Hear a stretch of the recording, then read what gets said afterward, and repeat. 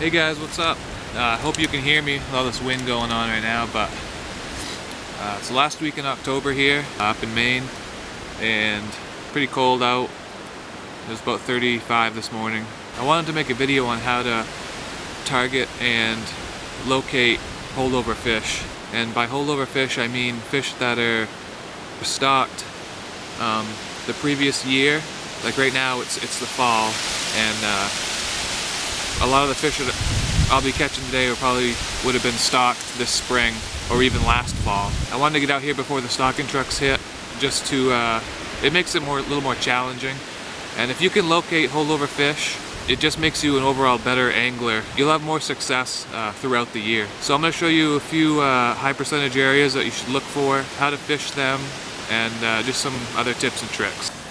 Alright, so the first thing you want to do, if you've never fished the area especially, is you want to go check out Google Earth. Google Earth is probably one of the biggest resources you can have as a fisherman. If you can pick out anything like boulders or any type of structure like that that fish will hold behind, um, but the main thing I look for is um, our little runs and uh, just some whitewater type areas. And you can see where the spots are that have a little bit of whitewater or rapids or runs, if you want to call them that. And make those your number one spots to go to when you first get there just to check them out. If you don't necessarily want to fish in the whitewater, but fishing the tail end of that whitewater is usually really productive and fishing the seams. And the, number one spot for catching trout that I've found are seams. And uh, if you don't know what a seam is, it's where the fast moving water meets the slower moving water. And it creates almost sort of a little line there, and that's called the seam. And the trout can hang out right on that seam. They don't have to use much energy to kind of hang out there in the slower moving current. And when something comes down through in the faster current, they can just kind of pop up and pick it off. Um, and it doesn't take much energy for them. So those are really good spots and I'll show you what I mean by a seam right here. So right here we have a little whitewater section kind of, right in here. You see there's a lot of rapids going on right there. And then it comes down and kind of tapers off a little bit into the slower moving water. It's still a little bit wavy and stuff right here. You can kind of see a little bit of a seam here. You can see the fast moving water right here and the slower moving water over in here and this is the seam right on this section and I would even fish cast up into this little pocket right here and a lot of fish will hold right in there because that's a seam right there obviously and they're going to hang out in this pocket and shoot up and pick off bugs and uh, whatever else comes down through so we're to try that really quick I'm to fish here for a couple minutes and uh, see if we can pull anything out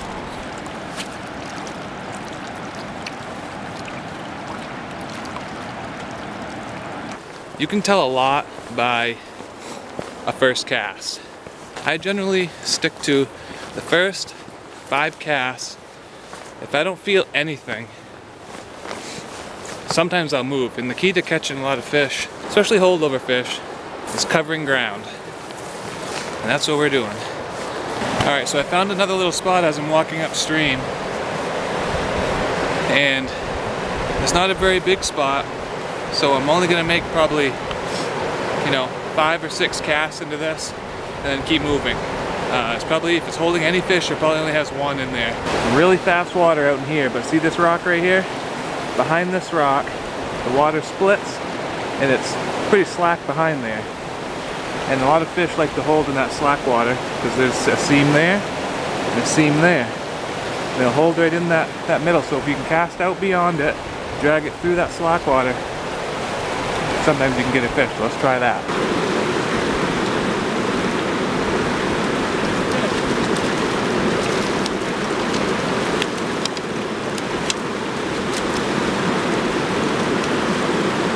All right, we got a nice little brown here. This is a this is probably a fish that they stocked this spring, really this spring. About 10 inches. 9, 10 inches.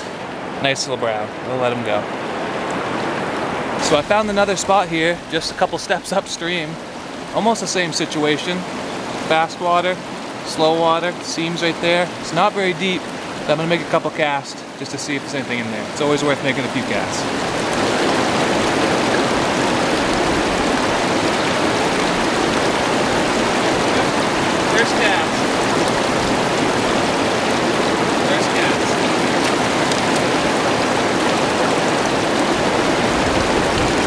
This looks be another one that was stocked in the spring.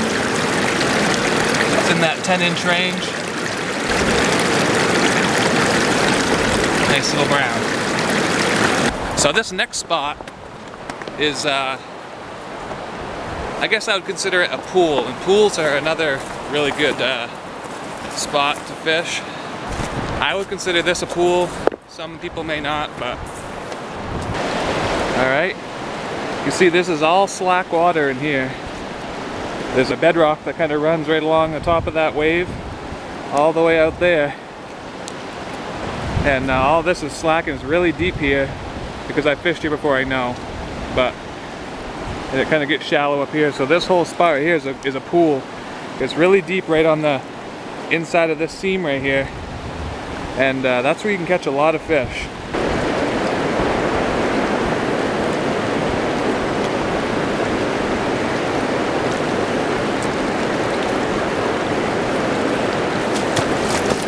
I'm gonna switch to something a little bit more deep diving. I just got a little Rapala crankbait and I rigged it. I rigged it with a single hook.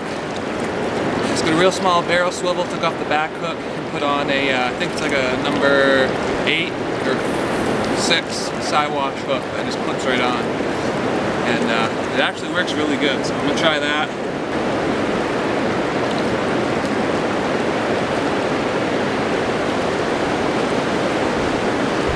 Those Rapalas are really good um, to use, especially when the water is really cold, like in the winter or uh, really late fall, because you can really slow the bait down and uh, you can kind of suspend it because they float.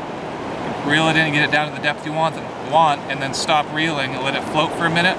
That's a lot of times you get the hits right when you suspend it and uh, kind of stop it. All right, guys, so we're at another spot here, and this one is a little bit different. Up here is where we were fishing earlier, up in that, you can see the kind of white waves up in there, into this tail end of this pool, and then it kind of flattens out here, and then it picks up again down here into some more white water. So this whole spot right here, it has a slow moving current, and this is a good place to actually fly fish because uh, a lot of bugs will be coming out here and you'll see a lot of fish rise. Um, in fact, there's a little bit of a hatch going on right now that I can see. Um, but anyways, we're spinning rod today, so it seems like from my experience, the trout will come up, you know, they'll use a lot of energy to come up through this white water up here, and they'll kind of use this as like a resting spot. So they'll come up and rest in here, and it's really easy for them because they can just kind of cruise this whole area and uh, pick off whatever they want without using a lot of energy. So we're gonna pretty much fan cast this whole flat here and uh, see if we can pull any out.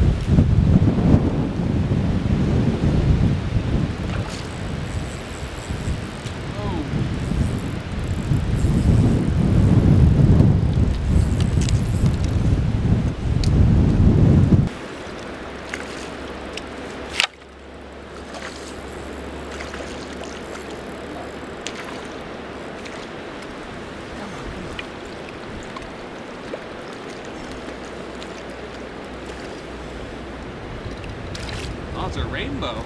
I got a rainbow. A nice rainbow.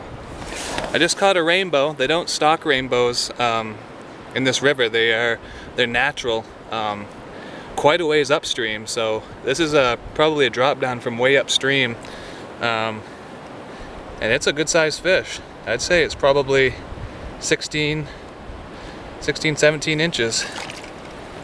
I thought it might have. I thought I had a bass on. That's awesome. Look at that fish. Let's let him go. Here he goes. It's a 17 inch rainbow. And that was a natural fish. That's awesome when that happens. I'm gonna keep fishing, see what else we can get. All right guys, I hooked up again. This one's small, probably a brown.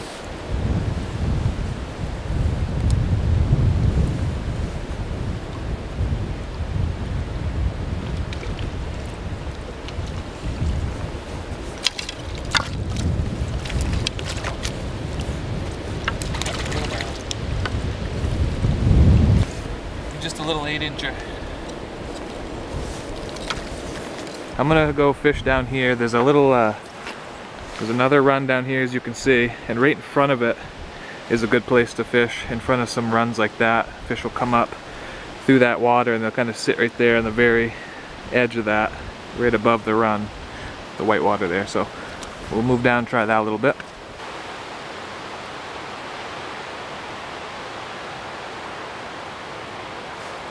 Fish.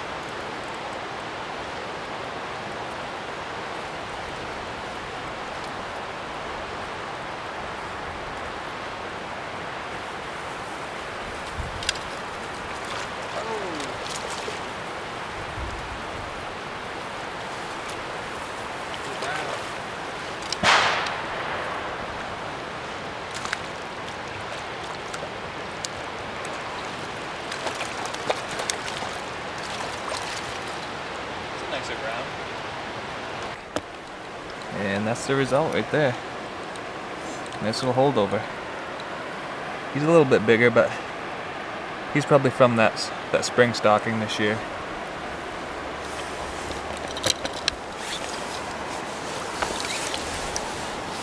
He might have been from last spring, you never know. It's hard to tell, really. Oh, there he goes. Got me wet. I haven't really been switching lures very much because uh, they've been they've been hitting what I what I've been throwing. So, but sometimes if I throw a, a spoon or something like like a searching bait, like a little inline spinner or something first, and then uh, I get some short strikes and they're not taking it, especially this spot because it's nice and slow. Uh, a really good thing to use is a small little grub with a little jig head on it. Um, and I like to use natural colors for browns and brook trout. But you can see that's just one of those trout magnet things. And take a bobber. I like to use the floats with the, with the weights on the bottom so you can cast it a little bit further. You know, depending on the depth, hook that down there, cast it out, and you. It's just like fly fishing, if you've ever fly fished. You cast it out upstream, let it float down, um, let it drift, and then reel it back in, keep doing the same thing. And that bobber goes under, you just set the hook. But I don't think I'm gonna have to do that today. That's a good, uh, that's a good uh, wintertime tactic. Right there, that point comes out, that's where we were. And this is that run that was down below. There's a nice little pool right here. There's a seam right there, sort of. I'm gonna fish all right in here.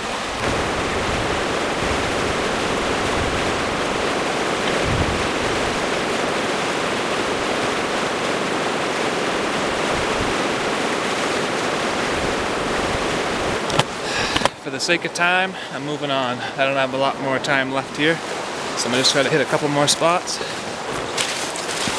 That looks like a really good spot right there. And actually on the other side of the river looks even better. You see that cliff right there? there is a really nice pool right there. Really nice. have to get over there someday.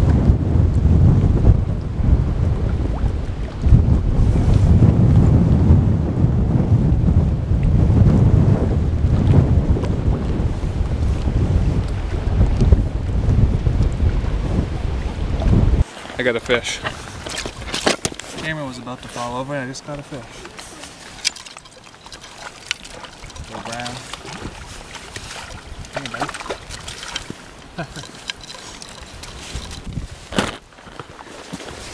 got a nice little brown. Wind's really picking up. Here's a fish. Had the camera pointed in the wrong direction, of course.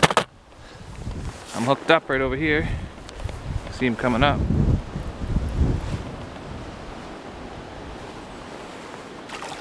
There he is. Oh, he came off. He came off. I messed around too much. There's so much more water to fish here on the river, on this on this stretch, and I just don't have the time or the battery life to do it today. But I hope that what I've shown you is helpful to some people. Maybe if you're just beginning, or even if you're a little bit experienced. That's usually what I try to do when I uh, fish for holdover trout. And you got to keep in mind that uh, you know these fish.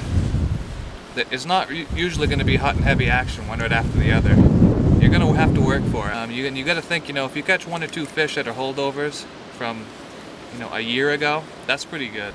And I got that, uh, the kicker rainbow there, that was, mean, that just made my day, so. And you never know. Things like that can happen.